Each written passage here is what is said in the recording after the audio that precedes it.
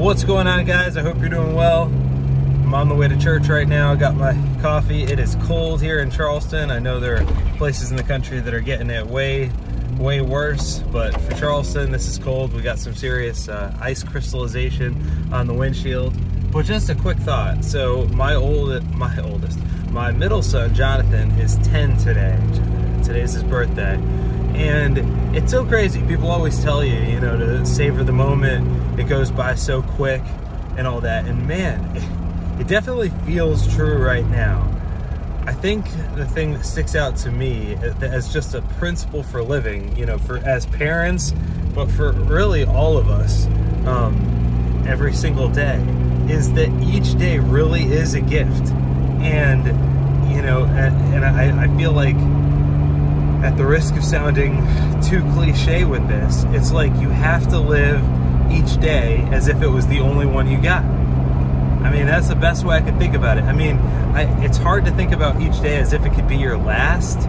Like, you know, like, because most of us don't live with an impending sense of doom as if death is around, just right around the corner. I don't know if that's really practical to try to live that way, but, but the way that makes sense to me is live each day like it's the only one you got because because one thing that's definitely true is I think back on my journey of parenting.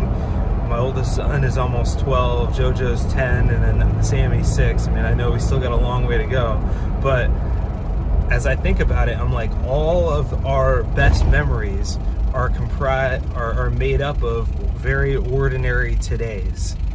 So um, that's that's not a to put stress on ourselves. Like today's got to be perfect, but just to thank God for each day, pray that each day you would follow him and then and then endeavor to to to capitalize on the moments to you know like for me it looks like when I'm tired and I just want to hang out on the couch and Jojo says, "Hey dad, like let's go excuse me.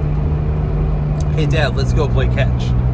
like in that moment I don't want to, but I but I, I have this instantaneous thing in my head that's like, you know that later on you're going to be much more grateful that you played catch right now with him than than not, and it, it, and those types of those types of decisions happen all the time, and I I guess my encouragement and my challenge to all of us is just make the most of those times. Whether it's your, when your kids or a loved one wants to spend time with you, if there's a text you're thinking about sending out to just let someone know how much you appreciate them, or sometimes what I do is I uh, I record a prayer and I send it to somebody, just the audio of a prayer to encourage them. Like all the, that stuff, it's so ordinary, but it's what makes it's the it's the those are the kind of things that make great today's. So let me pray for us because I, I I want all of us to live the life that God paid such a high price for by sending His Son. So let me pray. God, thank you so much for your faithfulness, and thank you for uh, warm weather and cold weather. Thank you for your love for us, and thank you for another day to be alive. I pray for every single person uh, listening to this that you would help all of us to say yes to you, that we would say yes to following you, that we would say yes to the way of life you've called us to, of loving you with all our heart, soul, mind, and strength, and loving others as ourselves, God. Have your way in our lives today. In Jesus' name, amen. All right, see you guys.